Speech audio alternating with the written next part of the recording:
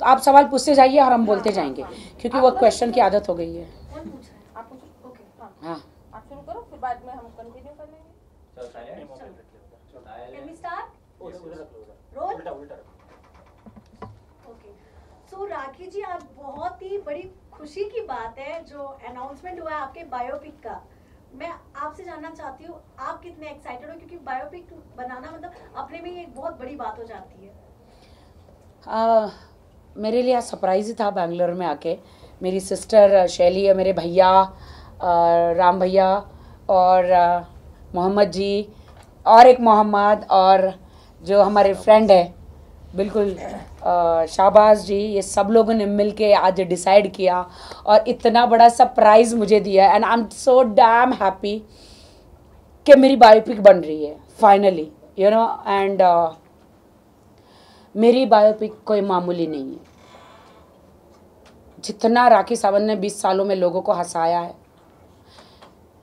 उतना ही रोई है 20 सालों से।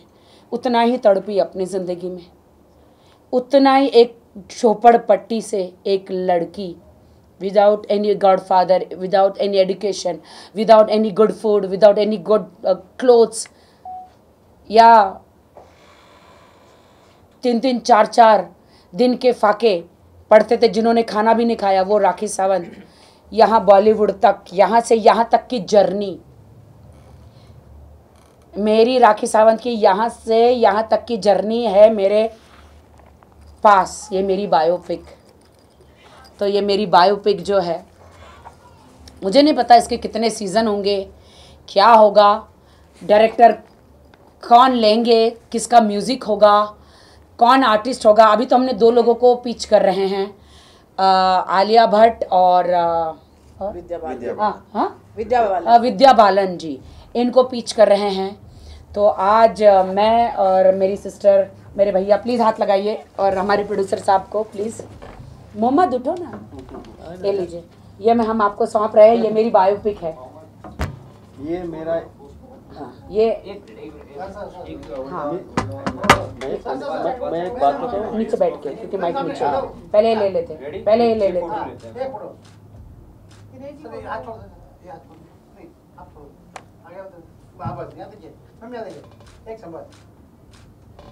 ओके अभी बैठ जाते हैं। तो दोस्तों क्योंकि माइक नीचे है। ओके।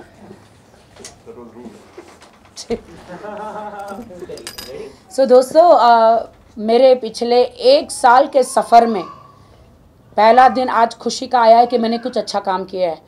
वरना जिस हिसाब से मेरी ज़िंदगी जो नर्क बनी है, जिस आदमी ने नर्क बना दी है मेरी ज़िंदगी को, हंसती खेलती लड़की जो हमेशा पपाराजी के सामने दुनिया को हंसाने वाली, शेर व शायरी करने वाली, कॉमेडी करने वाली लड़की को एकदम इस आदमी ने जो मेरी ज़िंदगी को नर्क बना दिया वो पूरा बायोपिक जो है मेरा बचपन से लेकर अभी तक जो है वो पूरी बायोपिक सर मैंने आपको दे दिया। थैंक यू ये आपको दे दी है। अब आपकी ज़िम्मेदारी आप बनाइए इसे। आपको मुबारकबादी देता हूँ।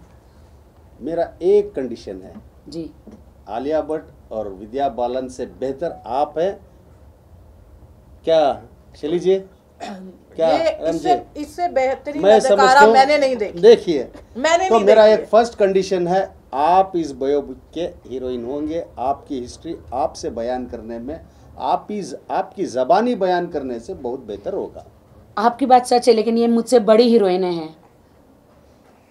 आप हमारे लिए ये बायोपिक के लिए आप ही बेहतर है। This is my opinion and condition thank you. Let us see जैसे मोहम्मद भाई ने कहा कि आ, राखी क्योंकि यहाँ है और बहुत आप सब राखी को बहुत अच्छे से जानते हैं कि वो किस तरीके की खुली किताब है और जिस तरीके से आज राखी के ऊपर कीचड़ उछाले जा रहे हैं जिस तरीके के उसके ऊपर लांछन लगाए जा रहे हैं।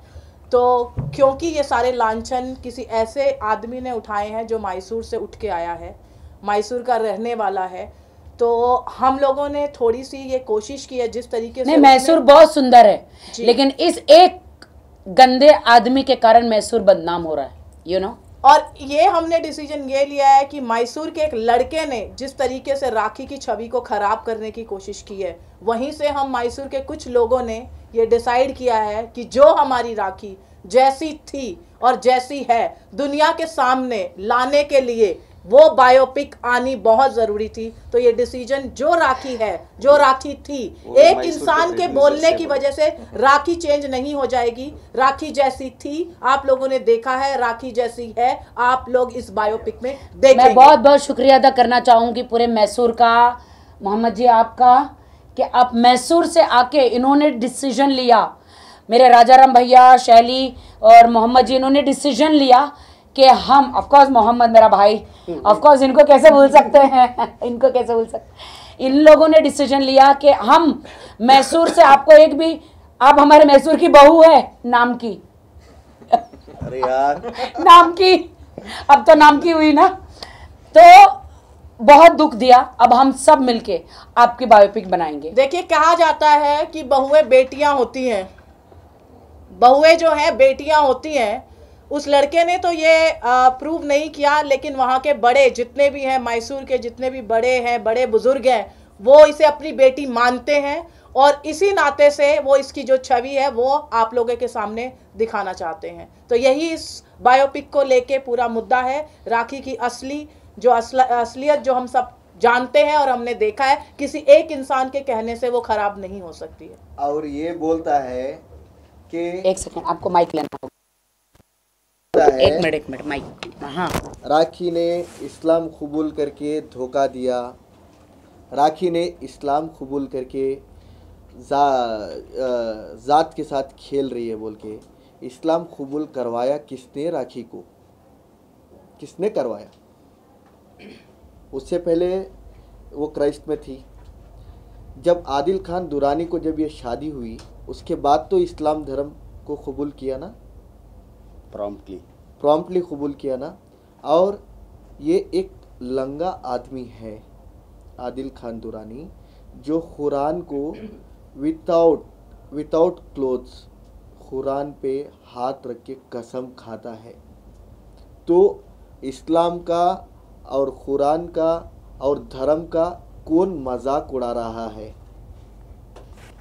तो बी फ्रैंक कौन मज़ाक उड़ा रहा है? राखी उड़ा रही है। देखो राखी से जब उसने शादी की तो उसको फोर्सफुली इस्लाम कबूल करवाया। इस्लाम कबूल करवाया और आज बोलता है, सारे धर्म धर्म के साथ खिलवाड़ कर रहा है, कर रही है राखी सावंत। तो उसके, मेरे पास फ़ोटोस है, जो उसने कुरान विदाउट कपड़ा, जो हम लोग के इसमें बोलते हैं विदाउट वज़ू हम लोग कुरान का नाम भी नहीं ले सकते। उसने हाँ वो कुरान एक ऐसी चीज़ है जो इसने कपड़ा पहने बगैर कुरान पे हाथ रख के कसम खा रहा है। उसका मैं फ़ोटो आपको भेज रहा हूँ। आपकी ग्रुप में I share it whatever is there मैं उस पर उसका शेयर कर रहा हूँ आपको। आई थिंक मीडिया ने पूरा देखा है उसमें कोई कहने की और मीडिया को बताने की ज़रूरत नहीं है। तो सवाल ये उठता है नहीं नहीं वो अभी सब वो बहुत ज़्यादा प्यारा हो गया। नहीं नहीं बात ये उठती है हाँ, आप जो आप खुद मुस्लिम होके ये तो मुस्लिम जो भी धर्म में आई है उसकी नर्सरी क्लास में है। ये इसने तो अभी एडमिशन दिया है। Without pant he. Touching the Quran without pant नहीं, ये दुनिया को नहीं मालूम है, आप लोग को तो ये इतना बड़ा छूटा और मक्कार और कमीना आदमी है कि सब जगह खुद मेरी सुपारी बांटते घूम रहा है। जब ये बैंगलोर आया तो सब पे बोल के घूम रहा है तुम उन, तुम, शाबाश तुम उसका को- पान बांट दो। शाबाश को शाबाश को मार दो। वो तुम्हारी सुपारी दे रहा तुम उसका पान बांट दो। शाबाश को मार दो। तुम्हारा बायोपिक का डीओपी पता है कौन है? हमने जिससे बात किया। शाबाश का मुर्गी का बच्चा है। एंड जो ब्रोकन बट ब्यूटीफुल किए हैं अनिकार वर्मा जी तो वो इनके प्रोबेबली डीओपी रहेंगे। जिसने कमांडो किया है मोहम्मद तुमको ही करना है पूरा ए टू जेड जिसने रणवीर सिंह का भी रिसेंटली फ़िल्म भी किया है हम्म। तो he will be the DOP आज एवरी डे ये सब होता रहता है negative talks about any random person हम जितना उसको बारे में बात करेंगे उतना उसको इम्पोर्टेंस देंगे। तो आज ये पॉजिटिव हाँ, नेचर में हाँ। आज बायोपिक के ऊपर बात करेंगे। कल मैसूर में सुपारी पान कत्ते के बारे में बात करेंगे। उसको आज इम्पोर्टेंस नहीं देते बिकॉज़ आज पॉजिटिव नेचर है। हाँ।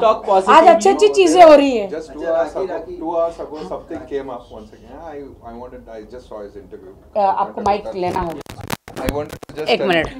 नहीं नहीं नहीं नहीं ये लो। आएगी ना मैं तो अभी यही काम कर रही हूँ। quickly, I wanted to answer a few questions. After I gave interview in Mumbai, I think most of you guys uh, came in the last minute. I had requested you. because भैया हिंदी।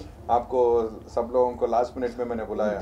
जिस दिन मैं जाना था एक दिन पहले बहुत लोग आए थे। I had expressed all my views I think after that mister Adil Khan was shut for some days and uh, he never spoke anything back and i had uh, openly challenged him to come out and talk about me and after that he never took out my name and he was never ready to acknowledge with any of you guys about what is going to happen and what i spoke was wrong today out of the blue ही आज बोलता है कि राखी सावंत जी एक club launch करने आ रहा है is such a fool idiot Okay okay, उसको ये ये भी पता नहीं बी भी पता नहीं कि क्या हो रहा है कब हो रहा है उसको पता नहीं कि हम बायो बायोपिक के बारे में क्यों बात कर रहे हैं। Actually biopic Adil definitely you will wait and watch.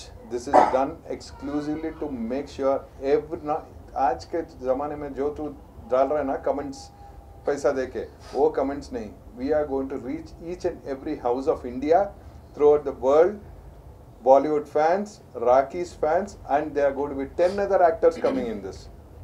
All big actors and we'll make sure the reality is exposed there we are not here to show about anything else but majorly see you might be famous today because of Raki जो भी तू controversy बना रहा है आज भी खुला challenge में बोल रहा हूँ तुम बोल रहा है ना सुपारी दे दिया मैं वो शिवारा चले गया इधर चले गया तेरी वो रिकॉर्डिंग है मेरे पास उन्होंने आपकी सुपारी दी है राइट लेकिन आपने ही ऐसा भी कहा था कि उनके पास तो कुछ है ही नहीं उनके पास तो खाने के भी पैसे नहीं वो मेरे पैसे हैं।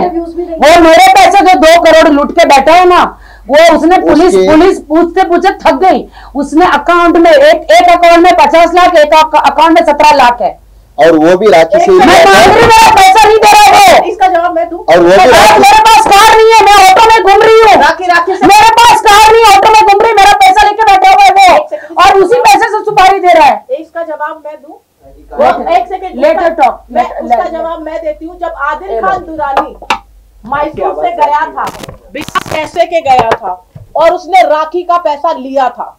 इसका सबूत राखी ने पेश किया है और कोर्ट में भी दिया है और पुलिस स्टेशन में भी दिया है। उसके लिए जब राखी सावंत को पटा के पैसा ले सकता है तो अभी तो इर्द बहुत सारी मछलियाँ है भाई।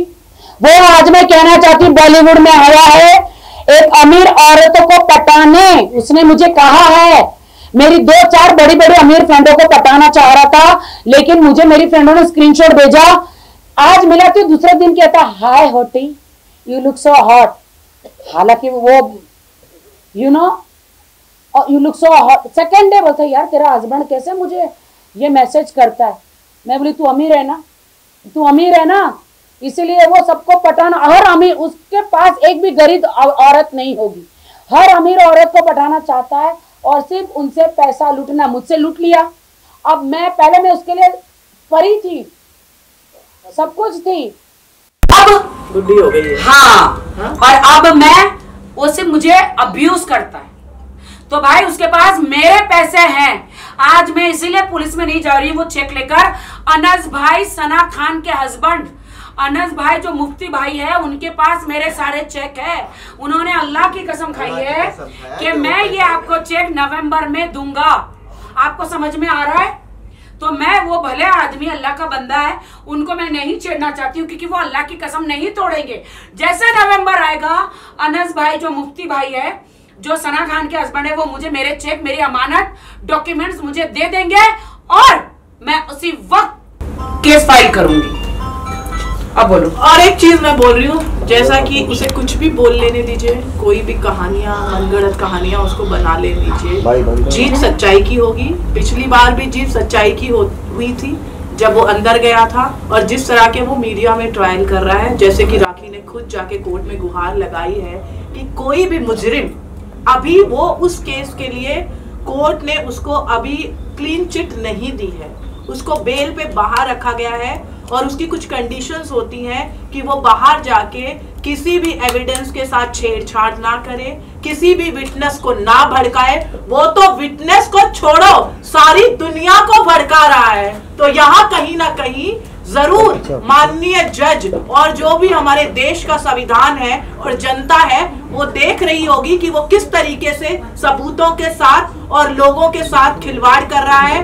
और राखी के खिलाफ लोगों को भड़का रहा है। कंप्लेनेंट कंप्लेनेंट जो है इस वक्त आदिल खान दुरानी नहीं है राखी सावंत है और वो कंप्लेनेंट के अगेंस्ट इस तरीके के बेबुनियाद जिनकी कोई बुनियाद नहीं है जिनके कोई सबूत नहीं है वो राखी के ऊपर अलग अलग अलग अलग तरीके से वार कर रहे हैं। ये हमारे कानून के बिल्कुल भी जो है बिल्कुल भी कानून के तरीके से ये सही नहीं है जिस मैंने अभी मुझे जब उनकी बेल होने के बाद उनको अपना नया करियर स्टार्ट करके कहीं चले जाना चाहिए था।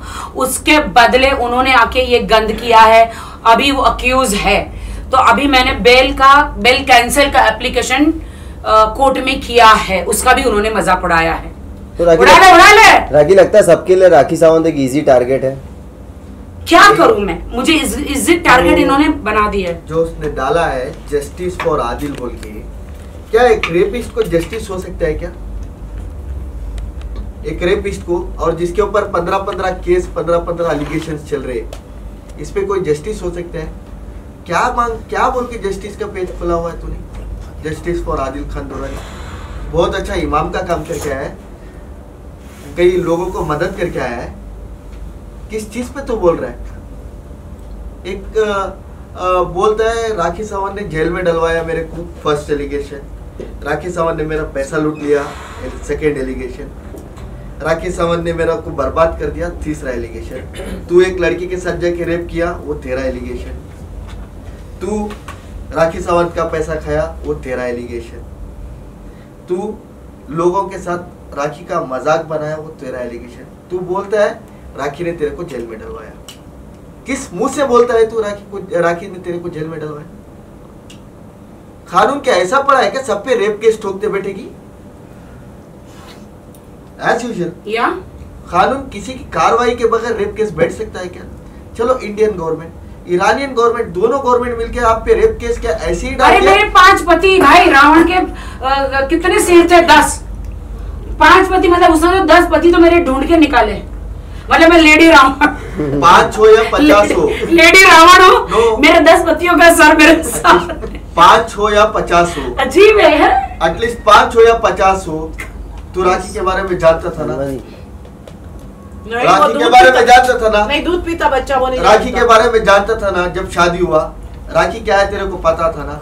लेकिन तूने जो हरकत की है जो मासूम लड़कियों के साथ पाँच पाँच छह छह शादियाँ करके बोलता है मुमताज़ दुरानी मेरा माँ का नाम नहीं है। इलियास दुरानी मेरे माम का नाम नहीं है। हाँ?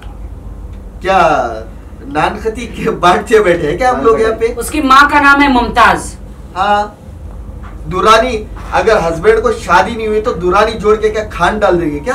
पूरा झूठ कैसे सच झूठ बोल देता है? दुनिया कैसे आप यकीन कर सकते हो? उसकी माँ को मैसूर में कोई फ़ोन करो। मुमताज़ दुरानी उसकी माँ का नाम है। मीडिया में मेरे को उनकी आँखों में धूल डालता है। कभी इस मासूम सूर्यत पे मत जाइए। ये एक फ्रॉड है। ये सब बोल रहा है। क्या?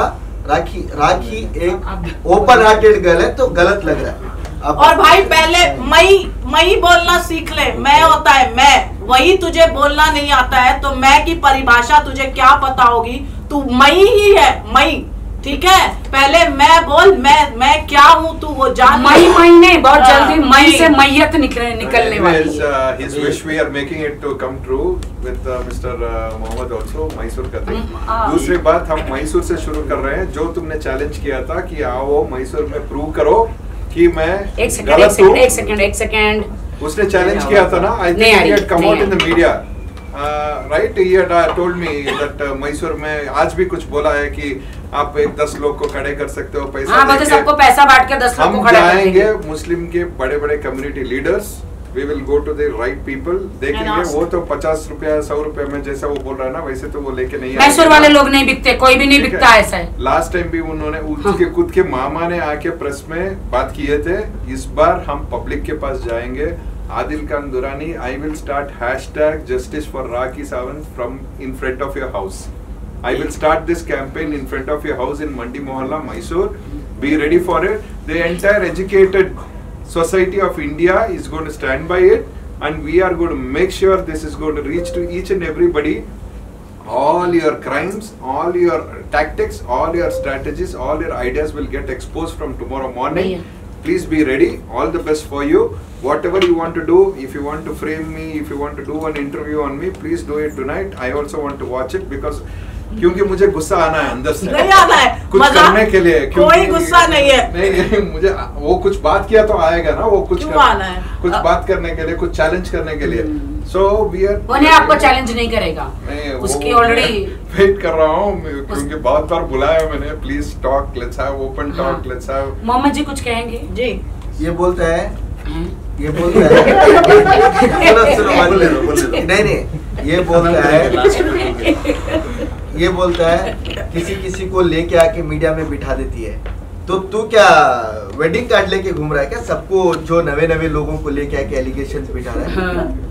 नहीं वो सबको सुपरस्टारों को लेकर आ रहा है। हाँ। जिन्होंने आईफा अवार्ड और कौन से कौन से बड़े अवार्ड दादा साहब दादा साहब नहीं नहीं कौन से अवार्ड लिए बड़े बड़े? नहीं वो जिनको लेकर आ रहा है ना वो। अरे भाई, ऑस्कर ऑस्कर अवार्ड एक मिनट। भाई अच्छी बात है ना तेरी वजह से दोबारा काम मिल रहा है उनको। दिख तो रहे हैं बेचारे दिख भी नहीं रहे थे यार। कोई नहीं राखी। अब फाइनली मोहम्मद जी कुछ बोलना चाहते हैं बेचारे। ईंट का जवाब पत्थर से देंगे। हाँ। Success makes the noise thank you thank you thank you